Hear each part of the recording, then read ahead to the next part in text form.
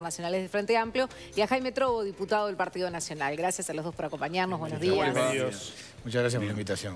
Ven, y comencemos hablando de cómo consideran que es eh, la Venezuela actual. ¿Podemos hablar de una plena democracia? Hay quienes también dicen que esta consulta, al no llevarse a cabo, se está violando la Constitución. Comenzamos Yo creo que hay otros aspectos, no exclusivamente este, que tienen que ver con violaciones de la Constitución en Venezuela.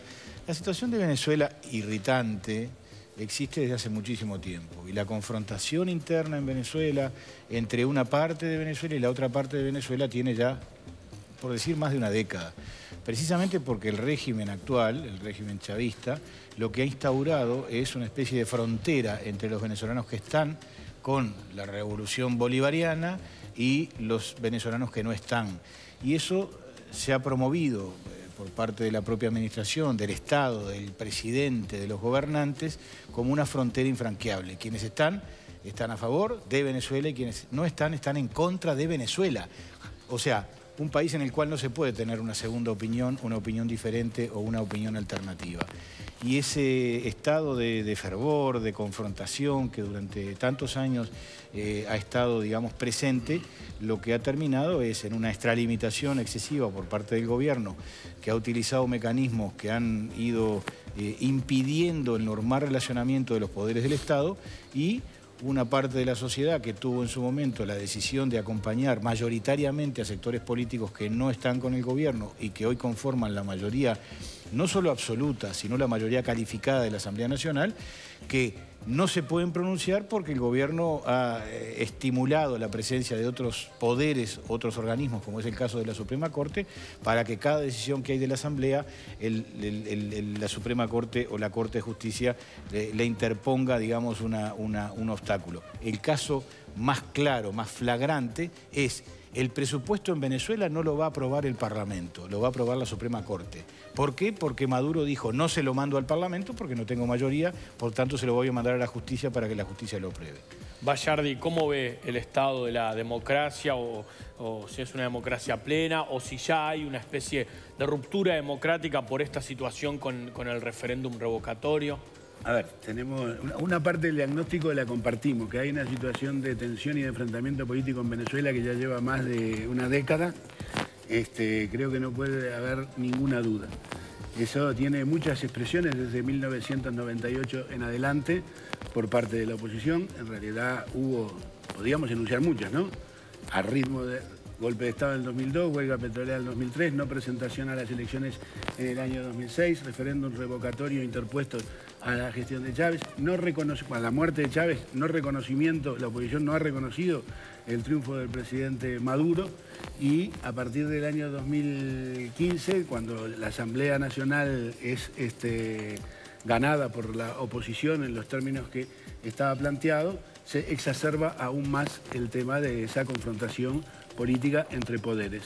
De alguna manera, lo que hay, y lo que yo creo que está planteado hoy, es en primer lugar un no reconocimiento de la oposición al gobierno y del gobierno a la oposición. Hay eh, que en realidad no puede haber manifestaciones en Venezuela de la oposición, en realidad no, se condice mucho con lo que vemos todos los días. Hay demasiadas manifestaciones en todo caso de la oposición. Y lo que hacía referencia Jaime, yo sé que él sigue las relaciones internacionales, yo también las sigo, en realidad está encuadrado dentro de lo que es la propia Constitución, Constitución que la oposición nunca aceptó, en lo que tiene que ver con el papel del Tribunal Supremo de Justicia. Ahí hay una estructuración basada en cinco poderes, un poder judicial, el poder legislativo, este, el poder eh, ejecutivo, el poder electoral y el poder moral y republicano. Digo, puede llamarle a uno la atención, pero está expresado en la Constitución de la República Bolivariana de Venezuela.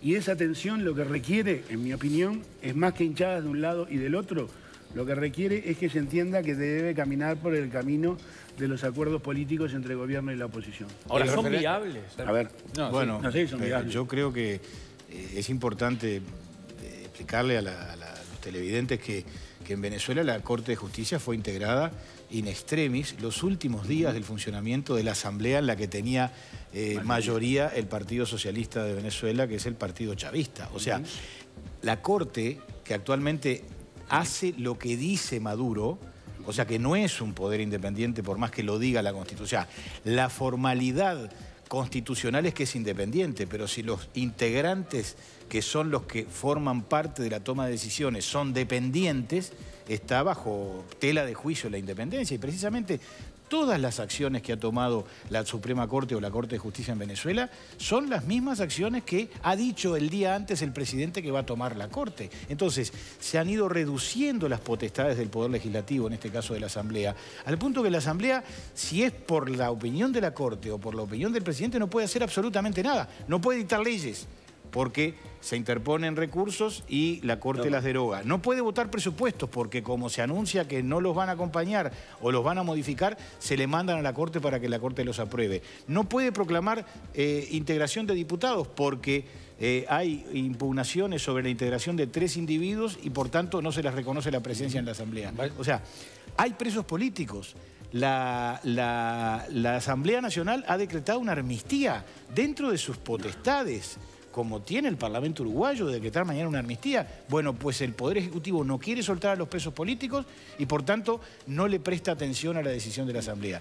Hay una subversión del sistema de poderes que lo que indican es que Venezuela hoy no es una república. Eh, una república con el equilibrio que tienen que tener Ahora tocó el tema de los presos políticos. Yo no tengo ningún problema en discutir los temas de los presos políticos si les ponemos nombre, ¿no?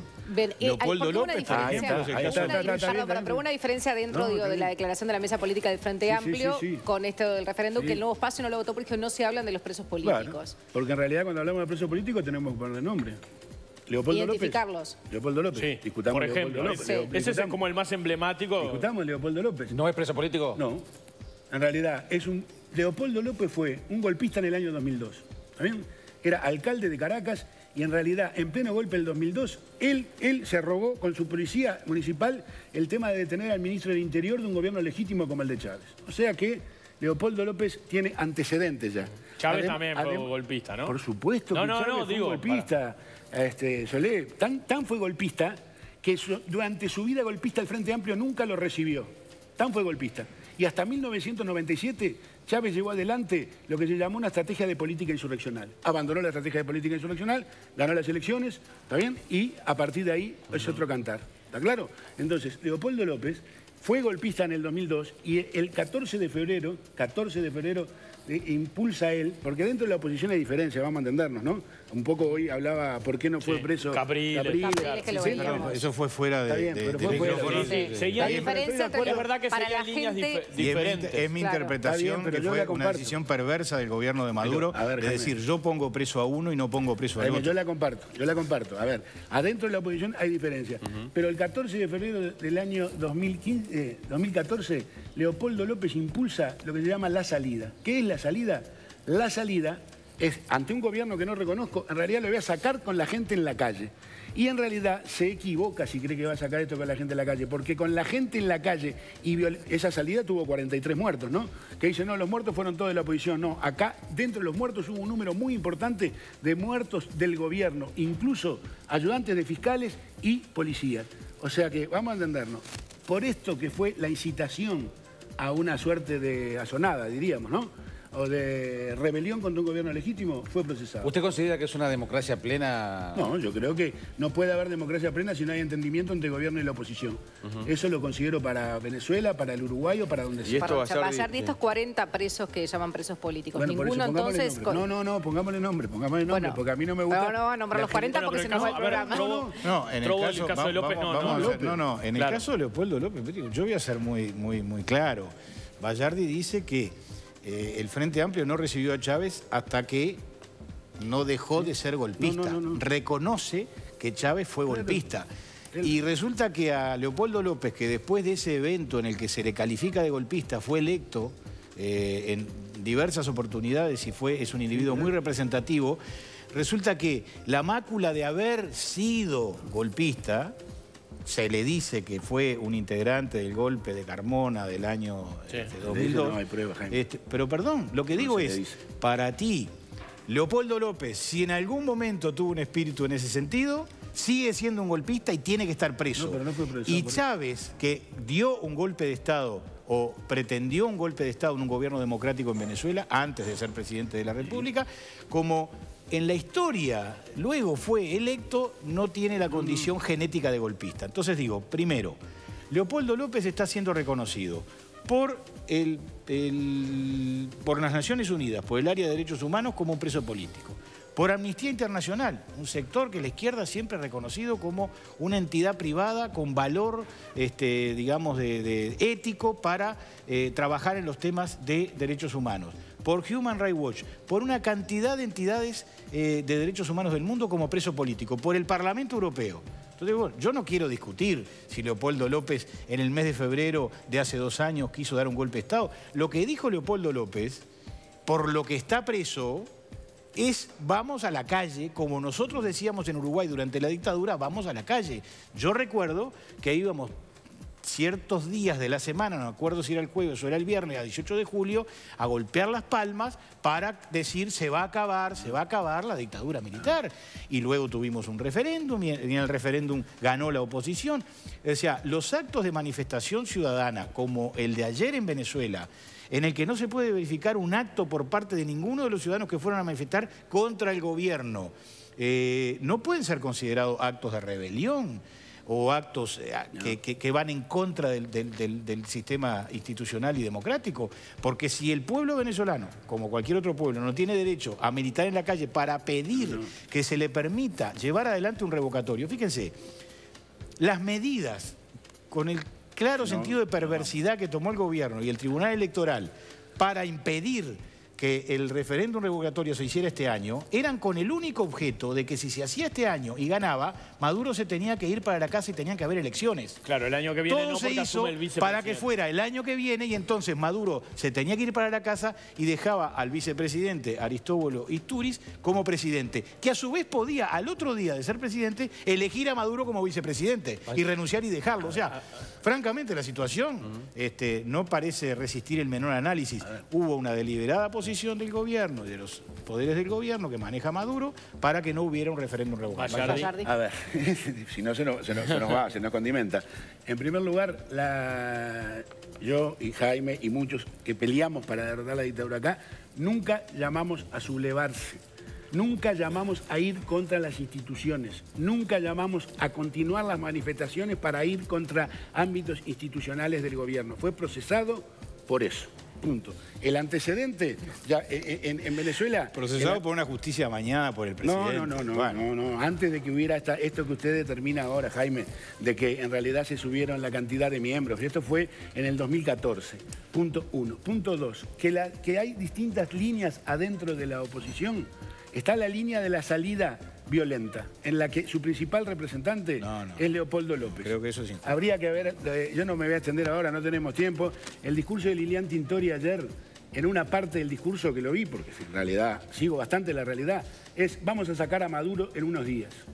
En realidad eso condice con un plan que está en ejecución, o que por lo menos estaba diagramado en ejecución, que se puede googlear, ¿eh? porque hoy la ventaja que tiene la tecnología es que por un lado nos viola la privacidad, pero por el otro lado entramos en la información que querramos, ¿no? Que se llama Venezuela Freedom 2. Ese plan de Venezuela Freedom 2 es un plan articulado desde afuera de Venezuela, desde la propia programación que ha tenido el Comando Sur de los Estados Unidos con respecto a esto, y plantea que hay que sacar al gobierno de Chávez en seis meses a través de un conjunto de acciones que están todas redactadas ahí, todas. Ahora, Bayardi, vamos a sobre, el punto del revocatorio. Vamos a, vamos a la otra cosa. Yo digo solución política negociada. El lunes prendimos la televisión, cuando nosotros todavía estábamos discutiendo la resolución y hubo Monseñor Emil Paul, el, apellido, otro apellido se me complica un poco, enviado del Vaticano, un nuncio apostólico ante Argentina, que leyó para todos los medios de comunicación el acuerdo de que se iba a avanzar hacia un diálogo el 30 en la isla Margarita. Estaba representado la oposición del MUT, estaba representado el gobierno y en realidad las contradicciones que hay por las salidas que se conciben distintas llevaron a que Ahora, no la oposición dijo que el 3 de noviembre le van a notificar a Nicolás Maduro que fue declarado por el pueblo venezolano abandonó el cargo. No, eso es un disparate. Todos sabemos que en realidad no abandonó el cargo, lo vemos ahí, estaba en gestiones externas, la Asamblea no puede porque no tiene la facultad, cree, la Asamblea cree que tiene la potestad de arrogarse el juicio político, no tiene en la Constitución boliviana, la, la bolivariana, la posibilidad de llevar adelante un juicio político. Y esta ese estímulo es un estímulo para aumentar la confrontación, pura Ahora, y exclusivamente. ¿No era, eh, no hubiese sido más adecuado permitir el referéndum revocatorio y que la población decidiera en elecciones libres y como está previsto además en la Constitución, porque no es que sea un proceso, es un proceso que tiene un, una- un Lo proceso de decimos ratificaciones, ¿no? O sea, y que son constitucionales. Lo decimos nosotros, ¿no? Vamos a Mm. Sí, entender. sí, sí, en Una de las partes de las contradicciones que hay acá es que todo el mundo en Venezuela, Sole, todo el mundo en Venezuela sabía que el desarrollo del proceso de referéndum revocatorio lleva 260 días. 260 días, desde que está reglamentado lleva 260 días, pudiendo presentarlo el primero de enero, el primero de febrero, primero de marzo, primero de abril, no, se presentó a fines de abril, principio de mayo, cuando no iba a haber tiempo para que el referéndum revocatorio se hiciera antes del 10 de enero. Esto No, es parte no- de la- no lo presentaron Bueno, yo- yo antes, lo antes- antes- No, no, la, no, antes la Corte y después No, la no. Corte lo, apro- No, no, lo no, aprueba. No lo presentaron el recurso, se No, es, un recurso, es un recurso que tiene algunas complejidades. Yo creo que complejidades. es, es muy enfático eh, Bayardi Bueno, en, en- estilo. en cargar, no, no, pero es muy enfático en cargar las responsabilidades en la oposición que lo que está reclamando es un espacio de expresión de su condición ciudadana. Eh, ahora, a mí me gustaría encarar el, el tema desde, desde otra perspectiva, porque eh, si nosotros comenzamos a cruzar armas sobre quién tiene razón en la interpretación de la Constitución, creo que no vamos a llegar a ninguna conclusión. Es más, nos estamos poniendo dentro de la histeria, de histeria venezolana. Señor, el señor Bayardi defendiendo a Chávez, la- al espíritu de Chávez y la revolución bol- bolivariana, y a Maduro, el sucesor de Chávez, y yo defendiendo a la mesa de la unidad democrática. Quiero hacer un apunte. La señora Lilian Tintori, que él mencionó, es la esposa de Leopoldo López, Sí. a quien desnudan semanalmente, a ella y a sus hijos cuando va a visitar a su esposo. Yo creo, por orden de Do- Diosdado Cabello, que es el segundo principal hombre de- de- de- de- con influencia militar en Venezuela. Quiero dar ese dato porque cuando se le escucha a ella, se está escuchando a la mujer de un preso político, a la mujer de un preso a quien, reitero, a ella y a sus hijos desnudan cada vez que va a ver a su padre. Pero digo, yo creo que hay que cambiar el enfoque del tema. Yo creo que es mucho más razonable que nosotros hablemos de las responsabilidades que Uruguay tiene respecto de Venezuela que de los líos que hay en Venezuela, sobre los cuales tenemos posiciones diferentes. Pero las responsabilidades que Uruguay tiene respecto de Venezuela yo creo que son irrenunciables. Y Uruguay está llegando tarde. Hoy escuché en algún medio de prensa esta mañana o leí que el presidente Vázquez está muy preocupado por la situación de Venezuela. Nosotros estamos muy preocupados por la situación de Venezuela hace años, Vallardi lo sabe, el presidente Vázquez lo sabe, el ministro, el canciller lo sabe, lo sabía Almagro.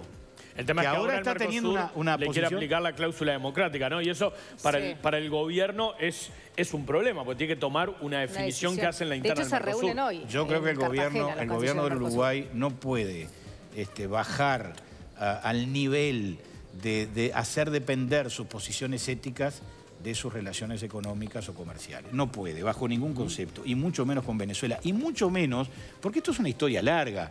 A Venezuela, el Uruguay le propició su ingreso a Mercosur a las 3 de la mañana, en una sesión trasnochada, a la que por supuesto la oposición no fue porque era un disparate, cuando Chávez había avisado que había salido de Caracas para visitar Montevideo y para recibir poco menos que la ley en la cual el Uruguay lo introducía en el Mercosur, y eh, Chávez que no vino ese día, no sé por qué razón, se le rompió el avión, vaya a saber. Digamos, el tema es un tema largo. Eh, está el proceso de Paraguay. A Venezuela se, le introdujo escamoteándole a Paraguay su capacidad de decidir en el ámbito del Mercosur. Y eso fue a las claras dicho por el expresidente Mujica que era una decisión política y no jurídica. O sea, Uruguay apartándose de lo que es la regla de las relaciones internacionales que yo creo que compartimos con Bayardi, que el Uruguay es un país respetable a nivel internacional porque respeta la legalidad y porque trata siempre de buscar en la legalidad la garantía que no tiene ni en el volumen de su economía, ni en el volumen de su territorio, ni en el volumen de, de su población. Entonces, eh, nosotros tenemos que acercarnos al problema de Venezuela entendiendo que Venezuela debe resolver ella sus problemas internos. Pero tenemos que acercarnos también hablando con nuestros amigos. Nosotros tenemos que hablar con la oposición y decirles lo que pensamos. Pero la gente del Frente Amplio tiene que hablar con Maduro y decirle que está cometiendo actos de locura política y que este tema de decir yo quiero dialogar y el otro día palo, a lo que lleva es a una situación que es absolutamente incontrolable. Bayardi, ¿qué le parece lo que ha dicho Almagro con respecto a, a Venezuela? Yo creo que Almagro está sesgado en la posición con Venezuela. ¿Está bien? Y que ha cometido muchos errores en su relacionamiento como secretario general de la OEA con respecto a Venezuela. Muchos. ¿está bien? No solo desde, el punto de vista político, ¿no? Él dice que siempre pensó lo mismo. Que Él habrá pensado siempre lo mismo, pero participar de una reunión que hace una fundación en Miami que en realidad ha trabajado y financiado para sacar al gobierno de Chávez primero y de Maduro y participar en una reunión con Ilian Tintori al lado de una fundación, no era una reunión de Estado, era una reunión de una fundación, en realidad es sesgar la situación y la lectura que está haciendo con respecto a Venezuela y creo que es un error para el secretario general. Llegar al territorio cuando hay una situación de límite complicado entre Colombia y Venezuela y llegar por el territorio colombiano sin haber acordado con las partes cómo se llegaba al territorio en una situación de conflicto es un error que el secretario general de la OEA no puede y creo que está determinado sesgado y no sé si por algún problema que pueda haber tenido personal en su relacionamiento con Maduro cuando época de canciller. Pero creo que es un error como está parado. Nosotros al, canciller Almagro, con quien tuvimos, al ex canciller Almagro, con quien tuvimos diferencias apreciables durante su gestión y debates realmente intensos en el Parlamento, le reconocimos cuando comenzó aquel diálogo hace dos años en Venezuela, aquella escenificación que hubo de diálogo entre la oposición y el gobierno, que lamentablemente terminó en nada porque el gobierno tiró por el piso cualquier posibilidad de que eso instrumentara una salida política negociada. En aquella ocasión le reconocimos a Almagro en el Parlamento, porque nuestros amigos de la Mesa de la Unidad nos lo transmitieron, la buena voluntad que le había tenido en esa reunión para escuchar a la Mesa de la Unidad en, en- en Venezuela, a los opositores en Venezuela. Fue el primer funcionario público uruguayo de jerarquía que realmente se sentó y les dio visibilidad. Y eso tiene mucho valor. Y yo se lo reconocí aún cuando en ese momento estaba discutiendo. Yo la posición de Almagro hoy día, francamente, a mí no me sorprende, porque Almagro es un individuo que sin duda alguna tiene una concepción democrática y una concepción de lo que debe ser la gestión de la OEA y de la Secretaría de la OEA en relación a facilitar para que los países puedan eh, reinstitucionalizarse. ¿Por qué? Porque el mandato que tiene Almagro es el mandato de la Carta de la OEA y es el mandato... Jaime, es- tomando es- posición para un pero lado. perdón, y es el man- pero no es tomando posición para un lado. Nadie. Él lo que hace es un juicio de valor sobre No las actitudes del gobierno de una- en relación a la... Perdón, la OEA es un grupo de gobiernos. Y los gobiernos no están en la OEA para que los demás les amañen sus decisiones irregulares. Bien. Si hay una decisión de un gobierno que está fuera de lo que es la Carta Democrática, el secretario está obligado, ética sí, y no- profesionalmente, a decir aquí hay una, una violación no de la en Carta cuestión. Democrática de la OEA. No está en cuestión. Tenemos que cerrar. Les agradecemos muchísimo a Jaime Trobo y también a José Vallardi por acompañarnos esta mañana y dar cada uno su opinión de lo que está sucediendo en Y Venezuela. ojalá se resuelvan los Sí, problemas sí, en si Venezuela. no se Sí, resuelve... y veremos qué pasa también con la reunión de los cancilleres del Mercosur hoy en Cartagena, evaluando y discutiendo la carta de Sí, Venezuela. difícil que haya buenos y malos en esto, de un lado sí y de otros no. ¿eh? Muy bien, muchas Bueno, gracias. gracias por que pase muy bien, ¿eh? Tenemos ahora que ver cómo está el tiempo. Presenta Previsión.